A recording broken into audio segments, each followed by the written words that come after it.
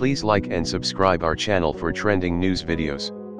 Trump on turbulence in the West Wing, I like conflict. President Donald Trump on Tuesday asserted that he likes and wants conflict among his aides in the White House, as he pushed back against reports of a dysfunctional West Wing.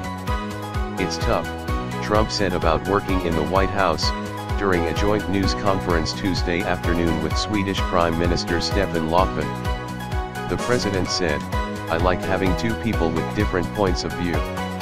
And I certainly have that. And then I make a decision. But I like watching it. I like seeing it. And I think it's the best way to go. Earlier Tuesday, Trump suggested in a tweet that he would still like to see some staffing changes. The new fake news narrative is that there is chaos in the White House, Trump tweeted. Wrong. People will always come and go, and I want strong dialogue before making a final decision. I still have some people that I want to change, always seeking perfection. There is no chaos, only great energy. During Tuesday's news conference, Trump was asked whether he was referring in his tweet to Attorney General Jeff Sessions, whom he has recently criticized. But the president declined to discuss their relationship. I don't really want to talk about that, Trump said. Sessions is back in the president's political crosshairs after announcing that the Justice Department Inspector General Michael Horowitz would investigate potential Foreign Intelligence Surveillance Act abuses in the wake of the release of two House Intelligence Committee memos.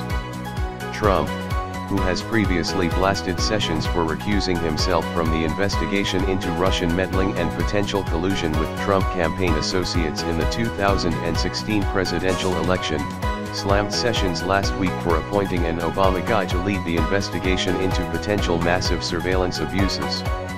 Overall, the president said, the White House has tremendous energy.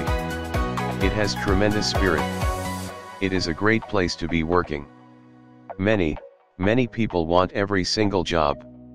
Trump said there will be people that change, but they all want to be in the White House.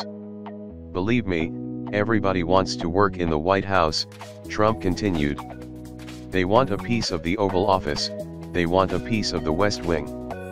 The Trump administration has had plenty of staff turnover in its first 14 months. Most recently, White House Communications Director Hope Hicks announced her resignation last week. Hicks has